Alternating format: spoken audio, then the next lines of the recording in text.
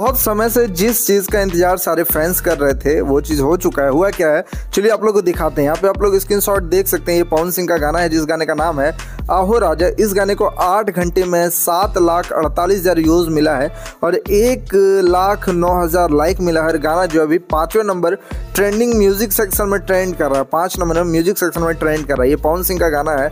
दूसरी तरफ़ यहाँ आता है खेसारी लाल यादव का गाना और शिल्पी राज का गाना, जिस गाने का नाम है गल कटवा जीजा। और इस गाने में नौ घंटे में तीन लाख पैंसठ हज़ार व्यूज़ मिला है। और ये जो गाना है, वो ट्वेंटी ट्वेंटी वन नंबर, यानी इक्कीस नंबर ट्रेंडिंग में चल रहा है म्यूज़िक सेक्शन में। इसमें तिरपन हज़ार लाइक है।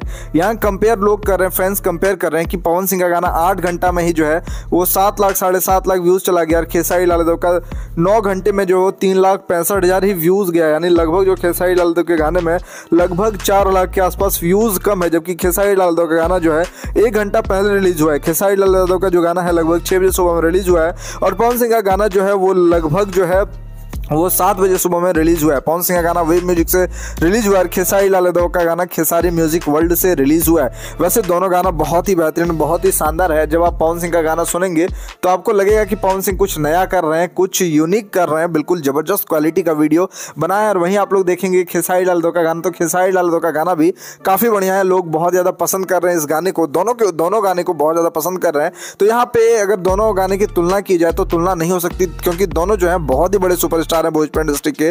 और आपको पता है कि दो लीजेंड में कभी तुलना नहीं होता है, लेकिन फैंस लोग तुलना कर रहे हैं, लेकिन दोनों गाना लाजवाब है। आप लोग दोनों गाना सुने, दोनों गाना को प्यार दें, क्योंकि दोनों गाना अगर आगे बढ़ेगा तो भोजपुरी इंडस्ट्री का विकास होगा, भोजपुरी इंडस्ट्री आगे बढ़ेगा। वैसे पवन सिंह ने जो गाना है, आहो राजा, इस गाने में बहुत ज़्यादा मेहनत किया और एक अलग ही क्वालिटी का गाना बनाया। मतलब इस गाने की जितनी तारीफ़ करें, उतना कम है, क्योंकि जब आप इस गाने की वीडियो क्वालिटी देखेंगे, तब आपको पता चलेगा कि आप कोई भोजपुरी गाना नहीं सुन रहे हैं। आपको लगेगा कि आप कोई बॉलीवुड गाना सुन रहे हैं। तो इस प्रकार से गाने बिल्कुल आने चाहिए तो यहाँ पवन सिंह की तारीफ़ वीडियो क्वालिटी को लेकर के करना ही होगा। भोजपुर इंडस्ट्री में जितने भी कलाकार हैं, सबको इसी क्वालिटी के वीडियोस बनाने चाहिए, ताकि भोजपुर इंडस्ट्री बहुत ही आगे जाए और भोजपुर इंडस्ट्री में भी अच्छी अच्छी फ़िल्में बनने लगे, क्योंकि भोजपुर इंडस्ट्री जो है, गाने की इंडस्ट्री तो है ही, लेकिन साथ में भोजपुर इंडस्ट्री गाने की इंडस्ट्री के साथ जो है, वो फ़िल्मों की इंडस्ट्री बने। वैसे आप लोग को दोनों में से ज़्यादा अच्छा कौन से गाने की वीडियो लगी है? सबसे बेहतरीन कौन सा गाना लगा? नीचे कमेंट बॉक्स में कमेंट करें, फिर मिलते हैं दूसरे वीडियो को लेकर